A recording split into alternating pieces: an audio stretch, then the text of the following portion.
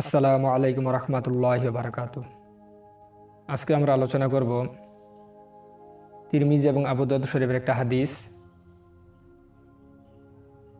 আমরা জানি যে পৃথিবীতে আল্লাহ পাকরাবুল আলামিন যত মানুষ পাঠিয়েছেন এবং যত মানুষ পাঠাবেন, তাদের মূলে ছিল মাত্র দুজন হজরত আদম আলাইসাল্লাম এবং মা হাওয়া আলাইসাল্লাম এখন প্রশ্ন হলো এই দুইজন থেকে সমস্ত মানুষের আবাদ। এই দুইজন থেকে সমস্ত মানুষের আবাদ হওয়া সত্ত্বেও পৃথিবীতে বিভিন্ন বর্ণের মানুষ দেখা যায়।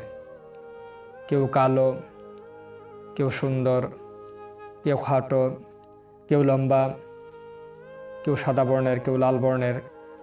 আবার কেউ হয় কোমল হৃদয়ের অধিকারী, কেউ কঠিন হৃদয়ের অধিকারী।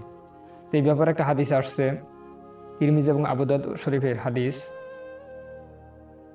আবু মুসা আশ আরি রদিয়াল্লাহ আন হইতে বর্ণিত, তিনি বলেন, আমি রসুল পাক সাল্লাহ আলাইসাল্লামকে বলতে শুনেছি, নিশ্চয়ই আল্লাহ আদম আলাহিসাল্লামকে এক মুষ্টি মাটি দ্বারা সৃষ্টি করেছেন। যা তিনি সমগ্র ভূপৃষ্ঠ থেকে গ্রহণ করেছেন। যার জন্য আদম সন্তান মাটির বর্ণ ও প্রকৃতি অনুসারে জন্ম নিয়েছে। তাই তাদের মধ্যে কেউ লাল বর্ণের, কেউ সাদা বর্ণের কেউ কালো বর্ণের, আবার কেউ উভয় বর্ণের মধ্যবর্তী বর্ণের হয়েছে।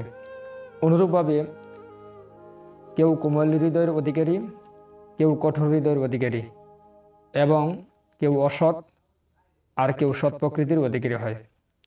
এই হাদিসটি আসছে আহমদ, তিরমিজি এবং আবু দাউদে। চলুন আমরা হাদিসটি শুনি। আন আবি মুসা কলা সামিতু রসুলাল্লাহি আলাইহি ওয়াসাল্লাম ইয়াকুলু إن الله خلق آدم من قبزة قبضها من جميع الأرض فجاء بنو آدم على قدر الأرض منهم الأحمر والأبيض والأسود وبين ذلك والسهل والحزن والخبيث والطيب রাহুল আহমদ ও তিরমিজি ও আবু দাউদ হাদিসের ব্যাখ্যা হলো হাদিসের মাধ্যমে রসুল্লাহ সাল্লাহ আলাইসাল্লাম মানব সৃষ্টির রহস্য তুলে ধরেছেন। কেননা মানুষের সার্বিক প্রকাশ মাটিরই প্রতিক্রিয়া। আদিপিতা হজরত আদম আলাইসাল্লাম থেকেই পৃথিবীতে মানুষ যাত্রা শুরু। আল্লাহ পাক রবুল আলমিন হজরত আদম আলাহিসাল্লামকে সমগ্র ভূপৃষ্ঠ থেকে এক মুষ্টি মাটি নিয়ে তা দ্বারা সৃষ্টি করেছেন।